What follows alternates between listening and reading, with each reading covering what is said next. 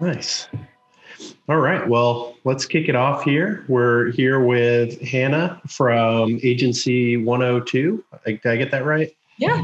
Make sure uh, here. And Hannah is the content marketing expert. So, really excited to get some of your uh, insights today about how we can use content to drive more traffic and, and more sales for our e commerce sites. Yeah, thanks for having me. I'm excited to share my knowledge. Awesome. Um, so before we get started, why don't you just tell us a little bit about Agency 102 and what exactly it is that you do? Yeah, that sounds great. So, Agency 102 is a content marketing agency based in the Baltimore area, but we serve clients um, across the country. So, um, very specialized right now in small to mid sized businesses, but um, can support larger ones as well in anything content marketing to help our clients attract, nurture, um, and and just engage their current uh, prospects or client list. We do a lot of social media marketing, um, organic social media, email marketing, um, organic website content, um, blogging. So really anything that requires our clients to create content, that's where we really shine. Um, and yeah, I'm excited to have this conversation with PPC Pitbulls too, because I think we do a lot of great uh, complementary things. And I know we'll get into how paid and organic tactics can work together, but um, really excited to have a conversation. Definitely. So I think you touched on it a little bit there, but I think before we dive too deep, I'd love if you would give like I always when I hear content, I, my first thought is like blog posts, and then you also have the the social stuff, and you know we've been doing uh, some email outreach recently, so I feel like be really interested to hear just like what exactly do you mean when you say content marketing and, and maybe why is it important?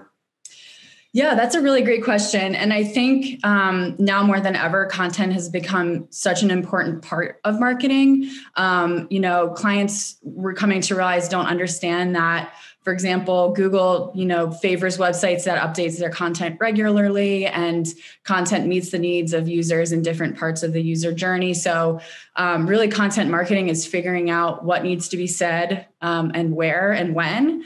Um, and we help our clients figure that that part out. Um, just really using content um, as a means to both sell your product but more importantly educate users, engage users. Um, and there's a crazy stat out there that's like content marketing is three times more effective than traditional marketing efforts. Um, people don't want to be talked at necessarily, which sometimes traditional marketing efforts can seem like, um, where content marketing is more engaging them in a conversation that they want to have. Yeah, yeah, I think that makes a lot of sense. We always try to focus on that, like especially on the paid side, where we're we're really you know, obviously it's kind of transactional. You're paying for a click, um, but it is really just so important that you have that focus of like, how are we building an authentic relationship here? Because it, you know, it's not at the end of the day, people want to connect with their brands and connect with the the people that they're buying things from. Absolutely. Yep. You know, something I think is kind of interesting too. I feel like Google's shifting even from the PPC side in terms of when we look at things like relevancy and quality score in our ads, Google's really pushing. They want content that is relevant and makes sense and builds that relationship and really just answers their questions when people are Googling and clicking on ads. So I feel like it's getting pushed across all spectrums of marketing that we really need to be serving our audience. And I kind of love that content marketing. That's just like the heart of it. Mm-hmm. Absolutely. It's definitely more about user intent these days. I feel like, you know, meeting them for what they need and not necessarily the message that you just want to push across to them. Definitely. Before yeah. we get into mis- like the top mistakes, I kind of wanted to just throw this out here and see what your thoughts were. So feel free to push back if you don't have any, because I know it's kind of off the cuff. But what are your thoughts on AI generated content? I know that's a big thing right now, and there's just so much conversation around it. I kind of just wanted to get your your two cents. That is a really great question, and I don't think I've been asked that one before. Um, I've seen those like Facebook ads of like hey, this ad was created by a robot. Um, look how effective this is. And to be honest, like I think I need a little bit more research to understand it. But initially, I can see where there might be efficiencies with something like that. For example, if you have to churn out hundreds of different types of ad headlines really quickly, that could probably be something that's useful. But taking the human element out is, you know, not only in marketing, but in other areas it, it can also lose that impact a little bit. So there's definitely probably pros and cons with using AI. Yeah, definitely. And I know that Google's come out and said that they're taking into consideration and that they're they're able to spot AI generated content and will be uh, ranking accordingly. I'm not sure how they could do that, but I completely agree. I think the human element is 100% necessary, but it's just kind of a, a huge wave right now, especially yeah. in, in content generation. Mm-hmm. Well, it's interesting. I think we've seen like we've played with it a little bit, not not really using it on any clients yet, but just just checking it out and it's amazing what it can generate. Like a lot of it really sounds real, but I think the thing to remember is you can't create any really new ideas, right? I mean, it's able to search out there and put together a bunch of different thoughts from different sources on the web and you know these days i feel like chain them together in really well written sentences but it's still not you know driving the needle forward and kind of producing new information or you know finding specifically the information that your customer needs. Mm-hmm. yeah absolutely. And i feel like there's a time and place for ai and that sort of technology and i see it more being helpful maybe on the back end with cover, uncovering like insights and data but that will help influence the writing from an actual person. I, so I, I definitely think there's a way to work together with tools like that but again just like raw copy made from a, a, robot or not a robot, but you know what I mean. it just is an interesting concept. Yeah.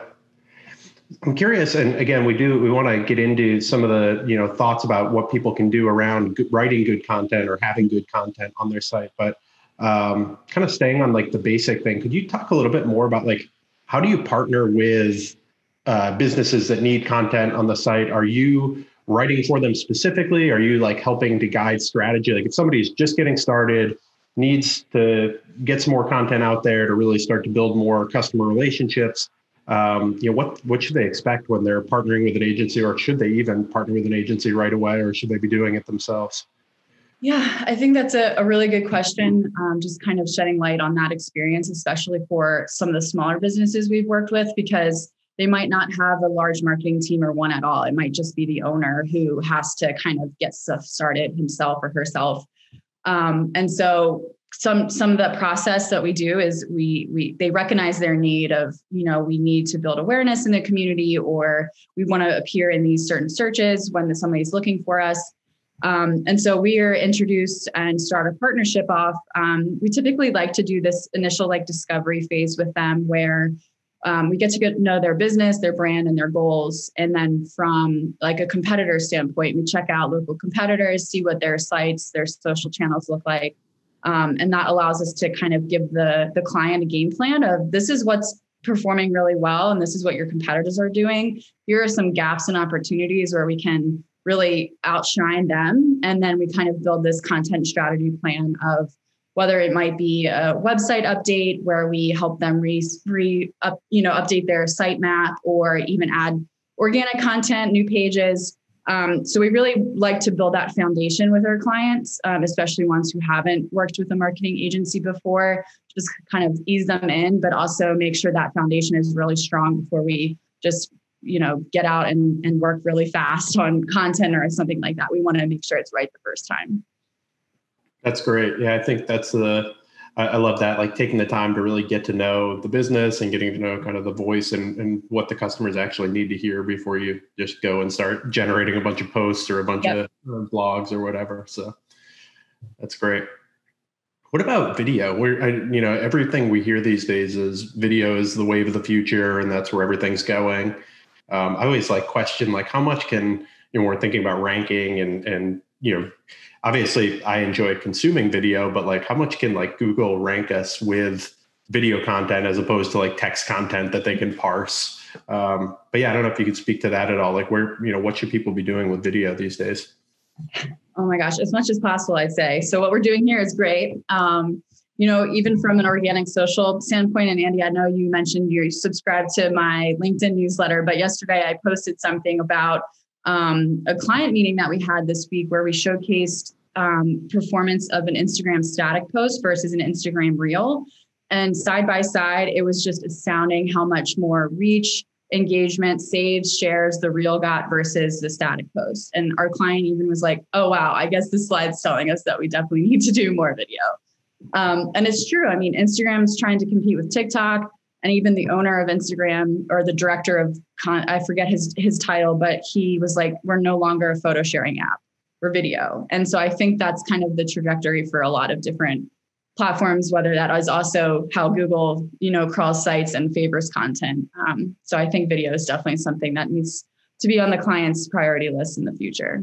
Yeah, I know that's overwhelming for a lot of clients too. Like it's hard enough to you know create text-based content. And especially if you're trying to outsource to an agency it's you know you can have somebody else write your post but it's awfully tough to do like a founder-led video. Do you have any suggestions around that or like how to kind of get started with it? Yeah um, and we definitely try. I mean being a small business ourselves we understand that sometimes investing in marketing and technology is just not feasible at the current moment. So we recommend kind of grassroots things whether that's you know, a Zoom call like this where we record a conversation and then leverage that in social media video. It's it's very easy, it takes an hour and the editing is really not that difficult. Or we even propose, you know, we we did this with a client a few weeks ago where we went on site to their office for an hour or two and took just with our cell phones and a tripod stand and was like, we're going to interview your teammates. We have a series of questions and now we have content that can last us through the end of the year. So I think just kind of thinking about ways to to you know do it yourself in a way um, but still produce that high video uh, content it's uh, that's fine. I mean and also when you think about it when you're on instagram not everything you see is tens of thousands of dollars in high production value. A lot of it is just or iphone videos. Yeah it's everything we've been seeing is that's that's what's performing better anyway is mm-hmm. like the the stuff that seems a little more authentic seems a little bit rougher um, so hopefully that makes it actually a little bit easier to to get away with it too. It's kind of nice that that's how it's how it's come out with. Yeah, and anybody can be a videographer these days, which I don't know if it's a good thing, but good thing for clients. awesome.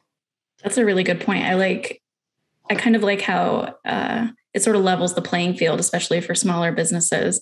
And I'm wondering if you've seen any kind of struggle with that um, in terms of, I know we've seen user generated content typically does really, really well as opposed to that really polished, mm-hmm. um, you know video content that they're producing with maybe a whole production team. But if you're just turning on your iphone and just talking from the heart about your business and why you created it and happy customers taking their own uh, instagram reels about what they love about your product sometimes that performs so much better than just a standard um, video produced to talk about their story and put out on youtube.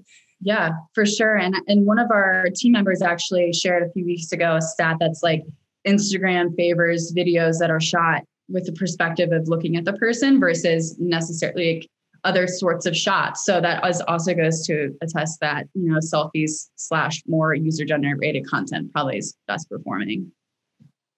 Definitely. So we're substantially into this interview. We haven't uh, gotten to the main topic that we had laid out. So I'm interested to hear kind of what when somebody comes to you and maybe they've started a little bit with content or um, you know they you're kind of inheriting a client from a, another agency what are some like the top mistakes that you see people making in content right now mm-hmm. um, there's a, a, few of them that come to mind um, so i can touch high level on each of them um, happy to have deeper conversations about um, whichever we want to go into but the first and i've said this i've had a few other interviews and this is always my go-to is um, mistake number one is uh, writing for your boss and not your customer. Um, many times, um, you know, also being both in my past experience working for agencies and also on the client side, many like you know executives, higher ups want their their uh, writers to be writing about certain topics because they feel personally that they want to write about that, they want to see that published on their site. Um, and then it comes out that it didn't perform well. Well, that's just a proof that, you know, even though your boss says that it should be written, might not be exactly what the audience wants. So that's why we always recommend our clients, um, you know, whether it's surveying their, their audience or talking to their sales team to figure out what frequently asked questions are, are, are asked by their prospects, just making sure the content is being produced for the end user and not necessarily to appease the C-suite level or whatever that that those those people making the decisions internally.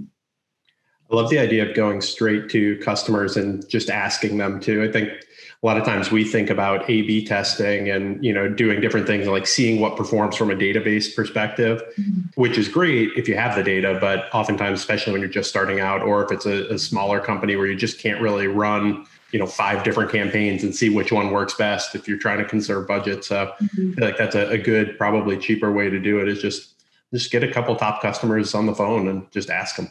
Yeah, exactly. And I think that mistake kind of goes into another one fairly similarly um, is, you know, m- wanting to try out all of the new marketing, you know, gadgets, tools, platforms out there just because they they exist rather than using them because there's actually a purpose for your business.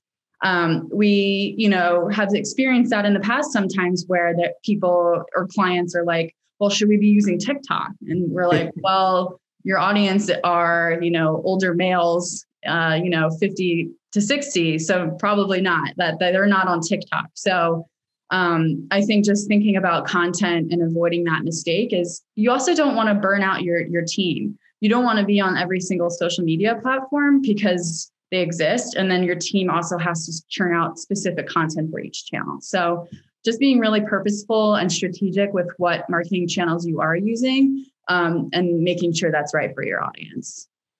Definitely. Would you say that's the same for trends and maybe if they are on TikTok, certain sounds or, or music being played? Because I, I know that there's quite a bit of pressure on social media managers to hop on every single trend and try to somehow form it to the business and be as a, you know an advocate as they can for their brand using just like really off the wall or non sequitur type stuff that wouldn't normally fit.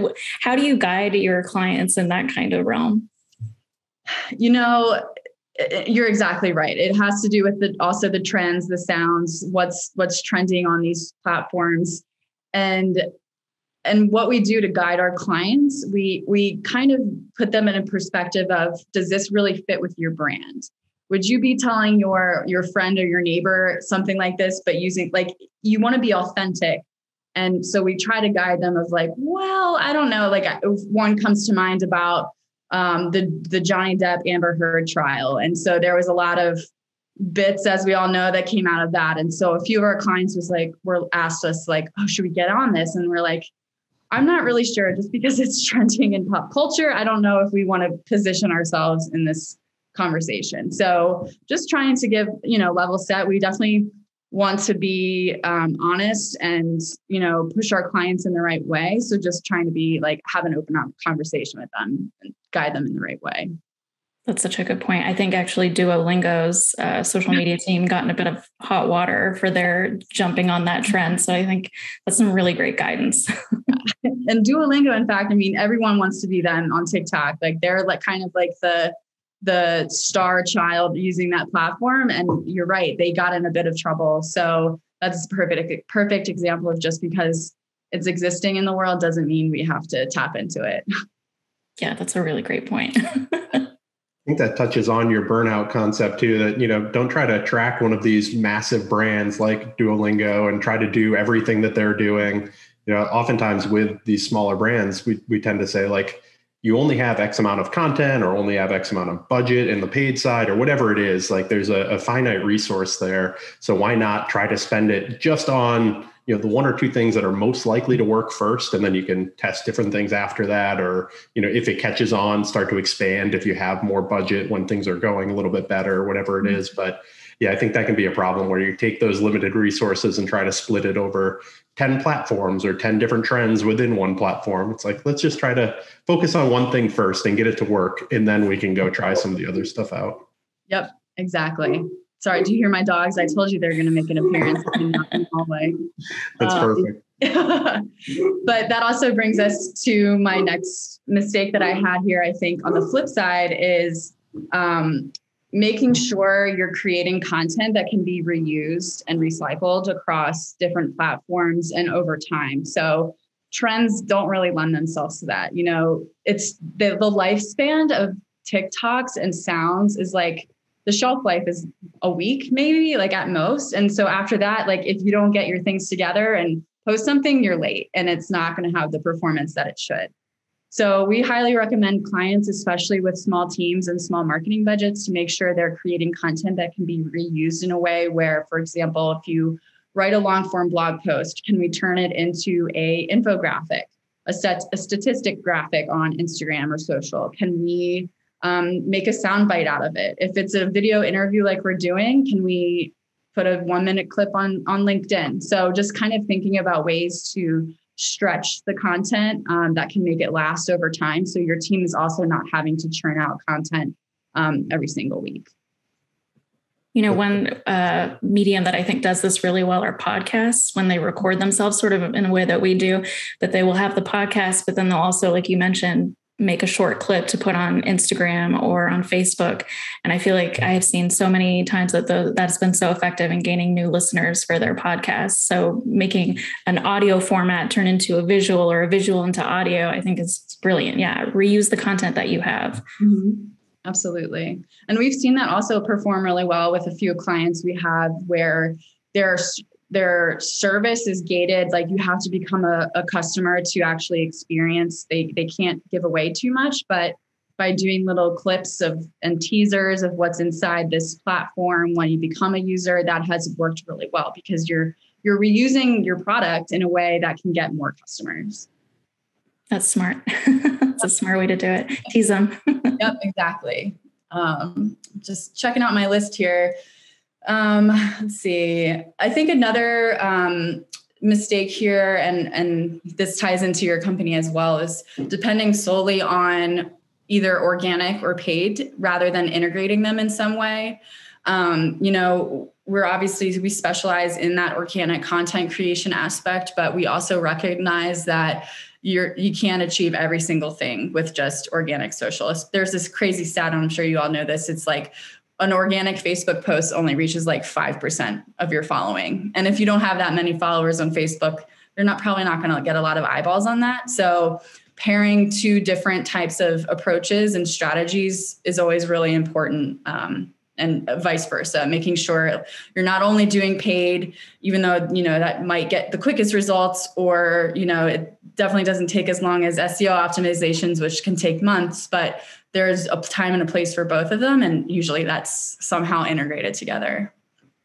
That's something i actually wanted to ask you about was the state of organic on social in particular facebook and instagram. I've heard from a lot of small businesses that it's just not the same as it was before. So what, what's what are your thoughts on that? What are you telling your clients? We are i mean i think being open to trying like we talked about like the video and doing what you can with what we know performs well um, you know the video content. Also having more conversation. You can't just post it and forget it and expect it to perform well. So we always recommend including a community management aspect on social. I mean really that's what social media is for. It's not just for projecting or promoting your business. You want to have conversation. You want to engage customers. And so creating this environment where it's more of a two-way conversation. Um, so that's kind of one aspect of what we'd like to do. And then the other is this paid idea. Um, again we we lean on experts like yourselves to help put, together a page strategy how we can leverage the channels that we're already using for our clients. So definitely exploring and letting them know like for example linkedin is also really expensive compared to facebook. So just kind of setting expectations with clients of like your $50 boost on linkedin is not going to do, do you much good. It's just you know so uh, it's kind of like a i guess a balancing act between the two. I'm curious with that community management we've had some some level of like concern especially with running paid on the social channels of like hey i'm running an ad and i want to test it out and see where it's going to go. And depending on if facebook or instagram puts it out to the wrong people. We don't want to get negative comments, especially on an ad where they're going to live there on the ad forever and we're, you know, paying to put those negative comments in front of someone else. I'm curious if you have any kind of opinions on that or should we be, you know, part of that curation is deleting those comments or what, what's the what's the take there? Yeah, so we've experienced this in the past with a few clients, and you know, there's always going to be trolls on online. Like, there's no escaping it. And so, I think there's a delineation of you could probably delete comments from true trolls of like they're just in it to leave a nasty comment but for the comments you are still, you know, they might be concerned about your actual service you provide, or they might have a question, or somehow put your business in a light that you might not see favorable. It's still, I think, important to at least reply back and make make an effort to show that you you want to resolve an issue or you want to address their question rather than completely censoring it out. Um, so I think there's two different cases, and and along with that, when we do onboard a client with like a social media retainer or something, we'd like to also put in place like a workflow. Like if we receive these comments or questions, how would you like us to respond? Who should we send this comment to? Uh, what cu- customer service rep, things like that. So just kind of putting in place that framework and that workflow, I think will also help that. It's a great way to think of it too, in, in terms of because I feel like that's another one of those overwhelming things where it's like, oh mm-hmm. man, I'm going to put this out into the world, and then I don't know how many comments I'm going to get, and I'm going to have to reply to all of them. So finding a way to to systematize it and you know use the same answers for the same types of questions and mm-hmm. use different team members in different situations, I feel like can help a lot. Yeah, and I think this conversation goes into um, one of the last the last mistakes I have on this list to talk about today is assuming content creation, content management doesn't take a lot of time or that anyone can do it. Um, I think there's a perception, and you might experience too, where people are like, "Oh, it's just a blog post. Why can't we do that in house?" Or "Why does it take you so long to do this? It shouldn't. It's just a Facebook post." And I think that they're you know they think that it's just words or it's just like just push post and you're done but there's just so much more to it than that. And so you know when we you know send over proposals to clients they might have um, concerns with the hours or the workload but once we kind of explain to them what goes in it and the importance of all of these processes they they start to understand like oh okay it's not just pushing tweet on in Twitter and then you're done. That's not that's not it. So um, I think clients should come in with an open mind when they start working with an agency. Um, they clearly have a need for marketing in one way or the other, and just having an understanding and respect for our trade too. You know, we, we've been in the business. Both of us have experience with clients, so I think just kind of respecting that level um, and then just being excited for the results because you're working with with experts. It's a really, really good one. I feel like oftentimes it's kind of a race to the bottom because there are agencies out there that are probably doing it for a quarter of the price you're charging or half the price you're charging. And it's we've used a lot of different content services here and there. And oftentimes the the cheaper ones, it's you know, it's okay or it's fine, but it just misses the mark just a little. And it's like, you know, you'd pay exponentially more for something that really hit it perfectly and hit the brand voice. And you know as a business owner you didn't have to worry about and get in there and make edits to the post every time they go out. Um, so yeah i think it, it is really interesting that the i don't know if it's content as a field specifically but i find in content um, yeah it seems to me it's just like a really wide range of costs. And then like at the high end it's it's amazing the difference. And it's hard to kind of quantify exactly what that that yeah. good content is. Mm-hmm. And that's why it's sometimes tricky for us when we're asked, like, okay, can you send me over like a rate card or something? Like, we can, but it would be better and more effective if we better understood your exact needs and your goals so we can put together actually a custom plan to reach them. Um, so it's not as black and white as some clients might assume, and you probably see that too. Definitely. I have a, another out of left field question. Uh, what are you excited about in the content marketing space? I think it changes. There's just so much happening in it. It's it's constantly evolving and things are constantly moving around. What's something that you're excited about in the space right now? wow. I think what's exciting is that it's always changing. I think, you know, with the example of video, we've gone from something where we just created, you know, years in the past, it's like, okay, we're just going to post a static post on Instagram. And then it tra- kind of transformed into, oh, wow, Instagram stories, like these are cool. Like, how can we use polls and quizzes?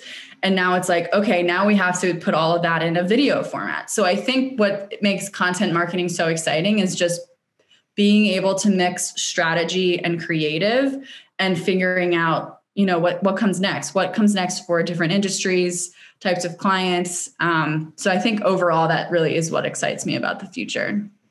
I love that. I feel like that's the mark of a good agency too. If you're out there looking and interviewing agencies, if there's one that's just dead set on a real static strategy that's been working well for many, many years, that should be a red flag because everything is so uh, dynamic and changes constantly that we all have to be reviewing our strategies and staying uh, at the top of the news because it, it is just constantly changing. So if you think you've got the best strategy that's been working for years and years, probably not. you're probably missing out on some stuff. Yep. Definitely.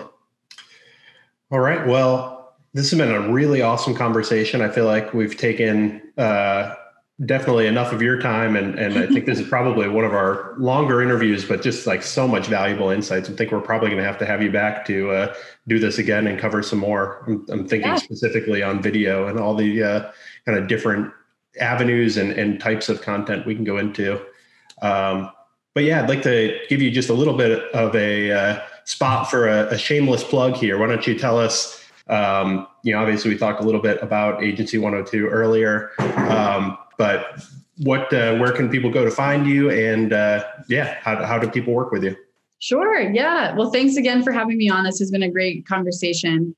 Um, and in terms of getting in touch with us, you know, check out our website, agency102.com. Send me a direct email. It's hannah at agency102.com.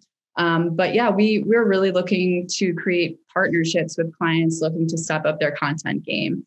Um, even if you don't you don't know where to start or you know you need it but you don't know why or how to get started that's really where we shine and can come in and be a partner through it all um, so yeah i also like i alluded to before i have a linkedin newsletter 102 uh, 102 words or less so subscribe there I, I keep up as much as i can but so for some more content marketing tips and insights. Um, so yeah, we're we're a great group of uh, content specialists, content marketers, and we just love working with clients who appreciate content. Awesome, and I can definitely uh, can definitely give uh, my stamp of approval on the newsletter. I've been following for a little while. It's been really really helpful. Thanks. Glad, glad it has been. Awesome. So I think it's time for what's good. We'll uh, bring our good news of the week here. Uh, Lindsey, you want to kick us off? Sure. Um, so mine's maybe unsurprisingly food related. um, so last night we revisited a recipe. And i don't know if you ever have those recipes that you used to make like all the time maybe in college or just like starting out when you were just starting out cooking and you were like these were go to and then years go by and you don't make them again. Well we just made homemade sloppy joes last night from the pioneer woman's old blog recipes that that used to be my go to it's better than manwich it's better than anything out of a can. It's so good but I forgot how easy it was. And so that's my what's good this week was that revisiting a super old recipe that I hadn't thought about in years and being like, dang, that was good. Love it. so we ate good last night, I should say. we'll have to make sure to get that uh, linked in the notes here. I'm going to want to try. Yes, please. Definitely also thinking through what I can get uh, my two year old Jasper to eat. I feel like that might be the perfect uh, uh, food to introduce for him. Brian definitely had had several servings, so it's uh, guy approved. perfect. Awesome. Um, on my side, I would say uh, I don't have a, a, ton of great ones this week, but my wife and I just finished the newest season of Stranger Things. Mm-hmm. Um, I feel like last season was not the greatest, but it really came back this year. So um, yeah, just really, really enjoyed it. Would give a, a, high recommendation. And of course, the the downside now is waiting what another year or two until the last. Uh, I think the next one is the last segment. But yeah, I thought it was uh, definitely much better than season three. Yeah, I think it's not coming back till 2024, which yeah, I agree. Too long. I haven't watched it yet, so I guess I have some time until the the next the latest season comes out. yeah, yeah, you're in a good position where you can just kind of binge it all at one. Yeah. So you may even want to wait till it's done because that's my favorite when you find a season or a show that's done and you can just yeah. like binge through and you don't have to wait. mm-hmm. Um, okay, I guess my my what's good of the week is themed wine themed. Um, so mm-hmm. two different things. So uh, my husband and I, we again just moved to the to this area, and it's very close to Eagles Nest Country Club, and so we became members, just like social members, and they have the best house Cabernet. And so I asked what brand it was, and it's Three Thieves Cabernet. And so I looked it up online, thinking that it was going to be expensive. No, it is nine dollars a bottle. So I was very excited that it's in budget. We like those lower end bottles from Total Wine. So we'll definitely be ordering some of that. And then the other wine theme, not alcohol, but still has wine in the name, is our wine berries in our backyard are actually growing now. So we oh. they're very similar to raspberries. So I'm very excited to make some yummy desserts with them. That's awesome. That sounds good. I've never had a wine berry. Yeah, I didn't either until my husband started eating them right from our backyard. And I was like, are they okay that would have been my first thought too. no, but we're still here. Yeah. That's Perfect. awesome. well, great. Those are some good, uh, good what's good today. So all right. Well, I think um, that's all I had for today. So thank you so much, Hannah, for your time. Um, everybody should go and check you out, agency102.com. Uh, obviously, we'll have all the links in the show notes. Um, but yeah, this is really great, really insightful uh, call, and we'll catch up soon. Sounds great. Thank you both. Thank you, Hannah.